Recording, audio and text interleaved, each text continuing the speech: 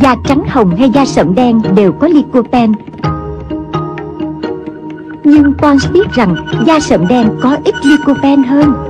Vì thế, kem dưỡng trắng da Pons mới được tăng cường lycopene, Nuôi dưỡng cho làn da trắng hồng rạng rỡ Và bảo vệ da khỏi ánh nắng mặt trời.